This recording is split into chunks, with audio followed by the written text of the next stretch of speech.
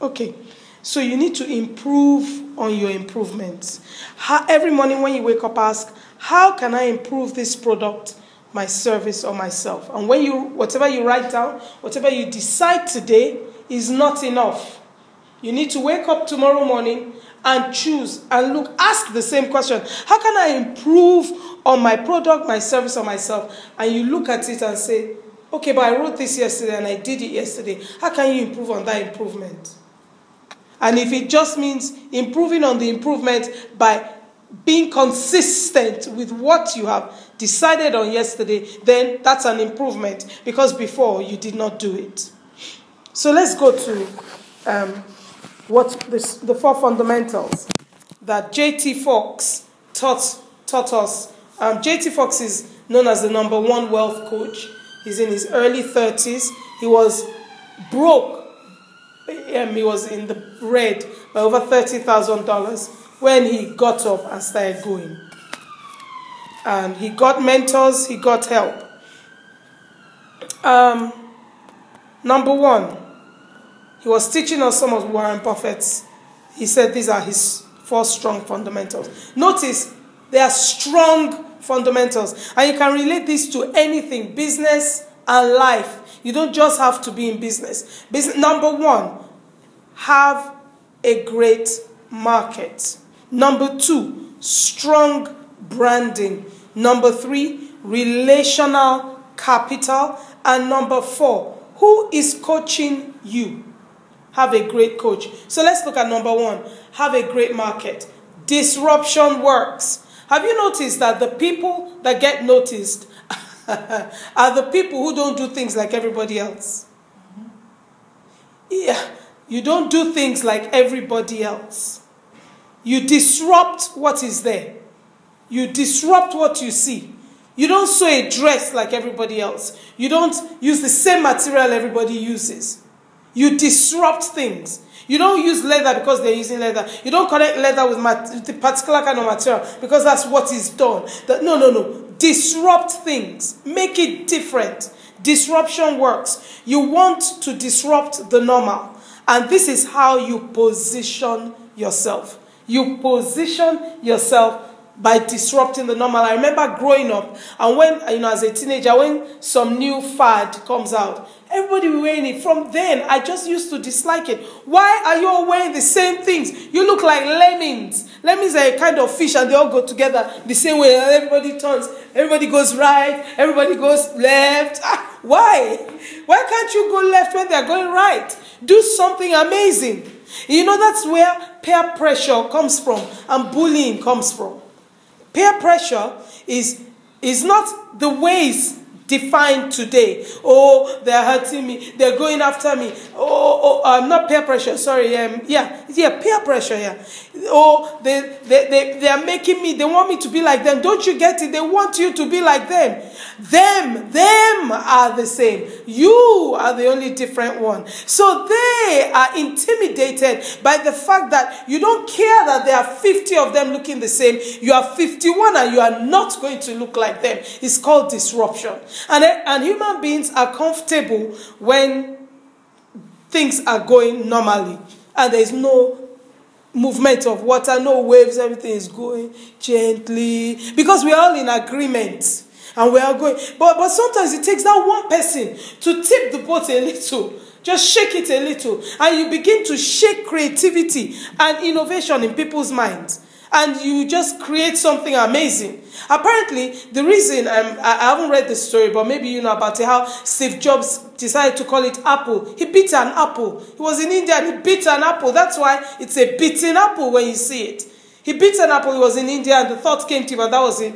Oh, wow, okay, you help me, Apple. That's how he called it. And he had the innovative idea in India. Sometimes you need to go away to know how to disrupt a market. Not go away with your family, go away by yourself. I, I wrote a blog post a couple of days ago called The Creation Room. The next day I wrote The Innovation Room. Go away into your room, whatever you want to call your room. It could be a corner in your house, and go and create. Sit down there and begin to think how am I going to disrupt things? How am I going to be noticed? So, one of the things um, I think it's JT Fox that does it, I'm not too sure, or Warren Buffett, they do zero based budgeting. This is how that works. This is how you disrupt things. This is how it works. When you hire, when they hire somebody, they tell you your salary uh, can be sixty thousand. Uh, your salary is going to be thirty thousand pounds per annum. Your your wage. However, you can earn two hundred thousand pounds per annum, and this is how you do it. Zero based thinking means there is nothing on the floor. We are not starting with anything. There is nothing in the, in the way. There is nothing we've done before. You are starting from scratch. You are going to build new customers. You're going to get brand new clients. And for every client you get that, you know, purchases for, of our services, you get 50%. By the time you add it up, by the time you add it up, you will be earning 200,000. So it's up annum. It's up to you. Do you want to just quietly, safely earn your 30,000? At least it is money. At least you are earning something. Or do you want to go for broke? Do you want to just go all out? And, and what happens with zero based thinking is your bosses or your employers, they challenge you. They challenge you. That's a challenge. It's going to get you thinking like, okay, where do I go? Who do I talk to? When do I call? Who do I call? you know, um, it's, it's just amazing. So you, you want to disrupt things. Things should not be as normal. Um, they should be as not normal.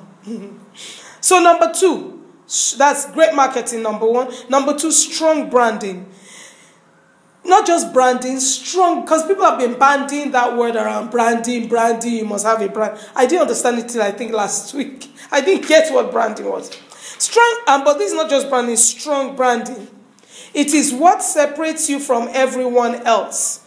The better the brand, the better your business. The better the brand, the better your business. It is what separates you from everyone else. How come we know Apple? Because there's an Apple, a sign. They make their things the same way, the same everything. They are not calling it a U phone. It's an iPhone. They didn't call it a U pad. It's an iPad. And their logo, which is part of their brand, the beaten apple, is on it all the time, everywhere you go. They're not chopping and changing. Oh, today this works. Tomorrow that works. Oh, let's change it. Why, why you living like that? You, you, you won't be disrupting the market. You'll be disrupting yourself. So you want to maintain your brand. And then you should have two brands. You should have the U Inc. brand and your business brand. You should have two brands where when I walk down the road, they know this is Coach Kemi coming. So when people invite me, I say, introduce me as Coach Kemi. That is my name. In my that's my brand, Kemi's brand. Then when you introduce my business, you introduce how to think. That is my business brand. But and, and your brand only is as strong as you use it.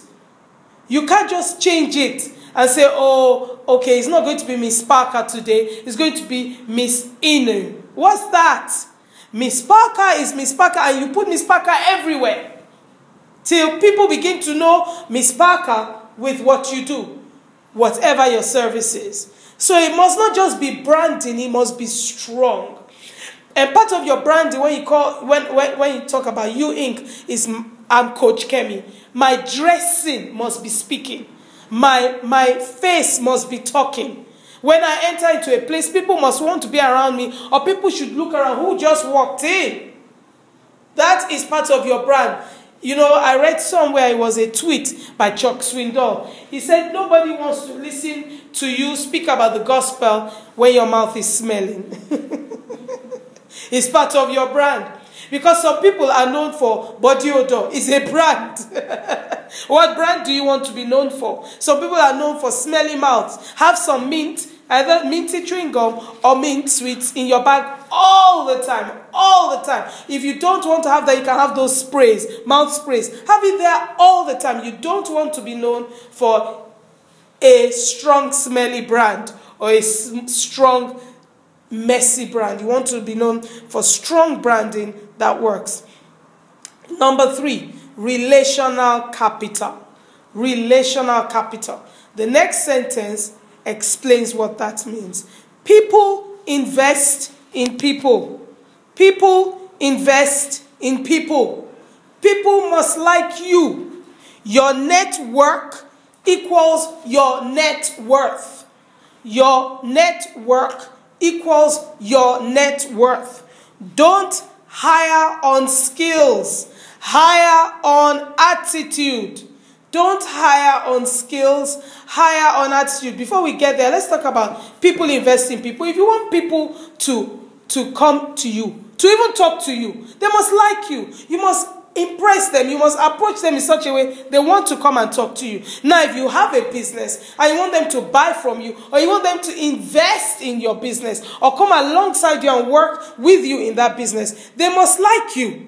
Because your network, the people you spend time with, is your network. The places you go to work with them. So, network means that you are working the net of people is equal to your net worth. So that also tells you that you need to network with the right people.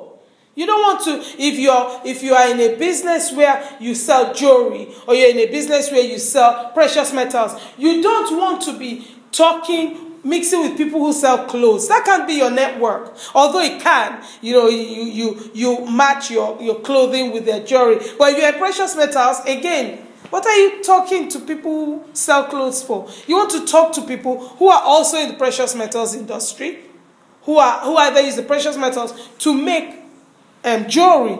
So then you can network. But mainly, you want to network with people who would like to invest with you, with strong people, people who are up in their game, not low in their game. Don't cast your sights low. Don't look down where you should be looking up. Radically alter your thoughts. Look up. Because that's where you want to go. You don't want to go down, you want to go up. So you need to be talking and networking with the people who are up there. I remember um, I was with, with uh, one, of, one of you here during the week, and um, I, it just came to me, and I said, You know, one day we won't have time to be sitting and talking to each other like this because we'll be talking to the billionaires of this world.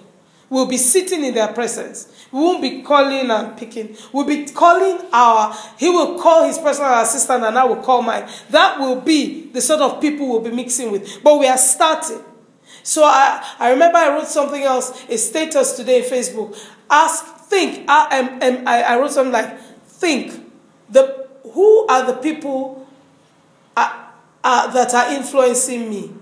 And what are they doing to me? Do I like it? If you don't like it, change them now. Don't change them tomorrow. You want to actually consider that in a day, 24 hour day, who are you spending the most time with in, in one day? They are influencing you. They are persuading you one way or another. You are doing what you are doing based on their influence. So what are you do, what, what are you doing? What are they getting you to do without getting you to do it? If you don't like it, stop. Change them now. Change them now. Change them now. Don't hire on skills. Part of relation, relational capital is this. You don't hire on skills, you hire on attitude. That's one thing J.T. Fox said um, and Warren Buffett does. He also does it. You hire on attitude. So let me explain what that means. Um, person A has the qualifications to be a marketer in your business. He has not just got his, uh, his, his first degree, he's got his MBA in marketing or whatever it is. And he's actually in the process of doing his PhD and he's so bright, he's so intelligent. But person B does not have her first degree in, in marketing, has not even been to university. They are about the same age, but person B is eager to learn. Person B is just ready to do whatever you say. If you say to her jump, she will say how high. If you say go sideways, she will go sideways. Why? Because she believes you know what you're talking about. And she or he is ready to learn. That is great attitude. But person A with all the qualifications, you say go left. He will tell you that, look, I'm actually doing my PhD now. Left is not the way to go. Theoretically speaking, now we have to have a conversation. Uh, you don't want to be having a conversation with someone you hire or with your partner in your business where, where, where the person is not, we are not going to agree and the person is not going to run and make the business happen. You want to talk with someone that has the attitude, the willingness to learn. Find someone that needs you as much as you need them. This is who to partner with, and it goes on and on and on from there. There's something else he said hire PSD. PSD stands for poor, S for smart, and D for a deep desire to get rich. A poor person, a smart person with a deep desire to get rich. Many people who have qualifications, or some people have qualifications, or, or they, they feel they are enlightened, they don't have a deep desire to get rich. And they definitely are not smart. Because if they were smart, they will have a deep desire to get rich. When you say jump, they will say how high. They won't say, I've got a PhD. Do you know how old I am? Do you know how long I've been at this business? No, no, no. In fact, there are many people in, in person A's category. When you tell them, well, we're going to start with zero based thinking, there's nothing on the floor. We have no clients. You're not going to work with who we have. You're going to build yours. Zero based thinking, so you can earn 200,000 pounds or we can pay you 30,000 pounds per annum. They say, oh, no, no, no, no, no, no. I don't take below 25 grand or 35 grand. That person has, got has shot himself from 155, 50, 160,000 pounds per annum. He doesn't want it. He is not smart. The qualification does not. You want to have somebody on your team that will treat your business, your service, your money like it's theirs. Like it's theirs. Like it's theirs. Um, um, somebody here has been working with me over all our, all our seminars, and she's always there before me. Always there before me, like it's hers. She always says, What should I do? Like it's hers. Like it's hers. That's you hire attitude, you work with attitude. You don't do different. And lastly, number four of the four fundamentals is who is coaching you? And I have something to read um, on that actually. I wonder if I move um, this if I move this, it will carry on recording. I hope so. Oh, it will. Fantastic. So I wrote something. Um, I read something, and I, I just want to read it here online this morning. Okay, I think that has gone now. I cannot. Okay, it's there. It's right there. So I read something about coaching. Let me carry on while I bring it up. A coach will make you more. Will make you more you will become more when you have a coach. There is no point doing everything by yourself. You know why? Because if you do it by yourself, all you have is just your own thinking. Your thinking is amazing, but somebody else will come and poke you, pinch you, prod you, press you, and say, You can't do this. Why don't you do this? That person will hold you accountable. Let me read what Edmund Lee puts here. He said, number one, a coach will help you work on your business rather than in your business. Number two, having a coach will help you to be accountable for the goals you set. Number three, a coach will help you regain enthusiasm when you feel stuck. Number four, you can't observe yourself as thoroughly as a coach can. Number five, a coach can help you learn how to prioritize your limited time. And that's from edmundslee.com if you want to go and read some more. E D M U N D S L E E.com. A coach can help you learn how to prioritize your limited time. Bring your work, a coach will help you bring your work and worth ethic together. Your work and your worth, they will help you bring it together. That's what my coaches help me to do. You are more than this, you are bigger than this. Why don't you bring your work and your worth ethic together? A coach helps you to decide and keeps you on track and holds you accountable, makes you better. Many people don't want coaches, especially many Christians I know, because they don't want to be stretched. They just want to stay in their comfort zone. Someone told me this morning, actually, it was my lady here. She said, Someone said, My daddy always says, comfort is a bastard. Comfort just wants you to stay there. That's why they say leave your comfort zone. I don't know who gave people zones, but you know, just leave it and go where you need to be. Stay where you need to be. Go out there. A coach shows you how to invest in right people. Um, that, that's the PSDs as well. A coach shows you how to hire PSDs, poor, smart people with deep desires to get rich. A coach shows helps you to realize that you are developing thoroughbreds, not donkeys. You are developing eagles, not turkeys. A thoroughbred are those huge horses, like stallions, who, you know, when they stand, they are huge, they are bigger than all the other horses. Not a donkey. You are developing thoroughbreds, not donkeys. A coach will help you to realize titles are cheap. Coach Kemi, here, you're a coach. It's cheap. So, what are you doing with it? Performance, not titles. Results, not talk. Uh, performance, not titles. Results, not talk. I am going to this. I am going to that. I am going to become this. Uh, what are you doing with it? Yes, yes, yes, yes. But we haven't seen what you're doing. A coach will get you up and out, up and going. So, can you imagine? These four strong fundamentals are Warren Buffett's, is what Warren Buffett's businesses are based on. He apparently makes um, somewhere in the 30 million dollars a day because he has businesses a day, a day. He's a billionaire, but you go and check him out. He's a billionaire on many levels. He has lost businesses because he made bad calls. So that happens in life. But you get up, you dust yourself up, and you keep going. Look at them. You have to have a great market, strong branding, relational capital. Who is coaching you? That tells you Warren Buffett has coaches. My, my this number one wealth coach, JT Foxx, he has coaches. I have five. In fact, they are increasing now. They're increasing now because I have um, um, specific business coaches. The others are generally life coaches, so they go into different areas of my life, including my business. But I have now, I'm building and developing specific business coaches. You should pay your coach. Pay your coach. Pay your coach. Pay your coach. I have someone in my life who decided to pay me like three years ago. She said, I will be putting 25 pounds in your account every month. And she did not ask me to be her coach. She asked me to be her sister, her friend, but and, and we had days in the month or week that she would call me and we'll go through whatever she wants us to go through. Or she couldn't afford it, so she stopped after a while. Then after a while, she started putting five pounds. Whatever you put in there, and even that she does on and off. Whatever you put in there, put in, pay your coach.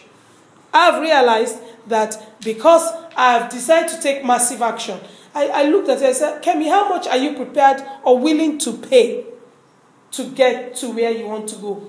How much are you willing to pay? What are you willing to do? Um, so let's talk about on page two, and we'll take a break after this. The cut, cut, grow strategy. This is something else Warren Buffett and JT Foxx mentioned. I wonder what's the cut, cut, grow strategy?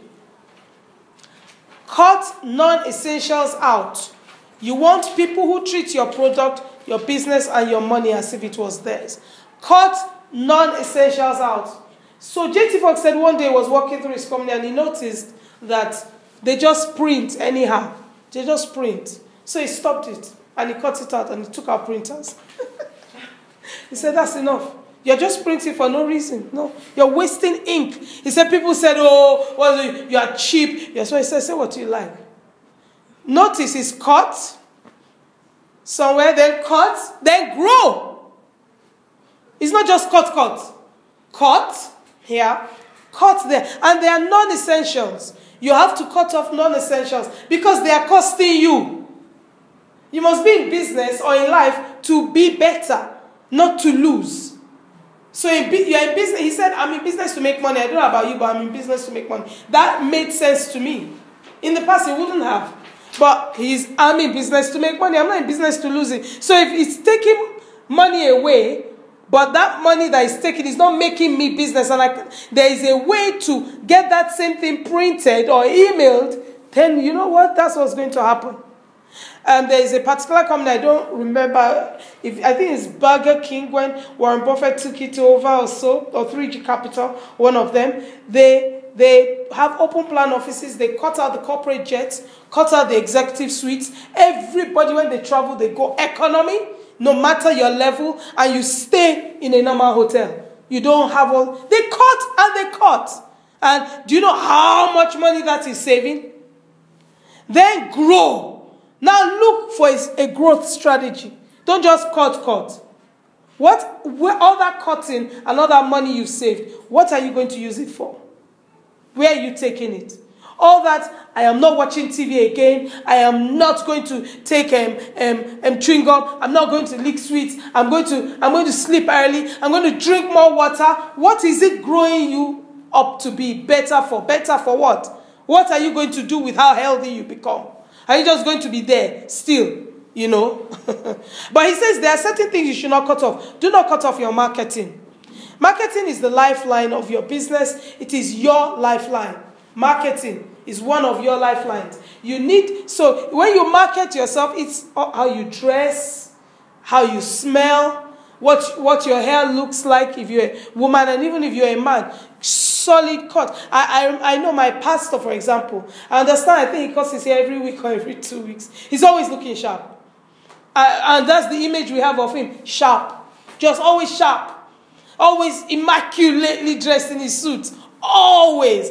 I remember three piece, three piece, three piece, three piece. I rarely see him out of a three piece. Rarely. He does sometimes. But you, now that's, that's the picture. That's his personal branding. That's what he looks like. How do you, what do you look like? Oh, I'm just going to get bread. And then you throw some crazy joggers that you should have thrown away. And then you show, I used to do that all the time. I just, I'm just going there. Do you know who has seen you?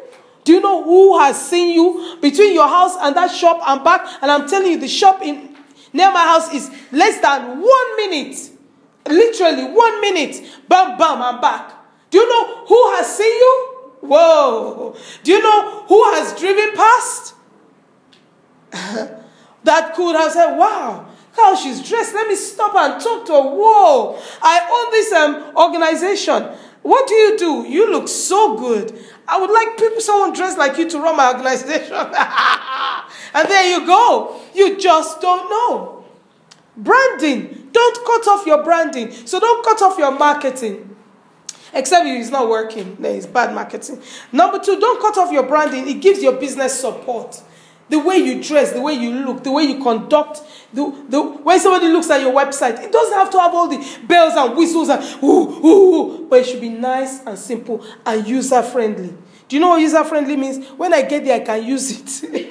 I am not confused, bogged down with too much information. Click here for this, click here for this. If you want this, colors are going, something is flash. It's too much. It's just gentle. Your, that's part of your branding. Don't cut it off. It gives your business support. That kind of that kind of website will not give your business support. It won't even give you, even if it's just a personal website. I'm sure Kim Kardashian, apparently she doesn't have anything, just has her name and her body. And I'm sure she has a website, kimkardashian.com. If it doesn't support her, uh, her branding, she should just shut it down. Uh, but I'm sure she does a good job and she has people that do that for her a good job. And number three, your coaching and your education. This helps you grow and explode your business. It helps you grow. You see, you must you must invest in educating yourself, reading books, talking to people wiser than you, talking to people who know their stuff. Um, um, going online, this is the online age. Nobody has a, an excuse, not one excuse, not one excuse. Nobody has an excuse. Don't cut off your coaching and education. Grow it. Grow it. Grow it. Do what you need to do and grow it. So, in your in your life, what do you need to cut off? And in your life, what do you need to grow? Let's write that down. What do you need to cut off in your life, in your business, and what do you need to grow?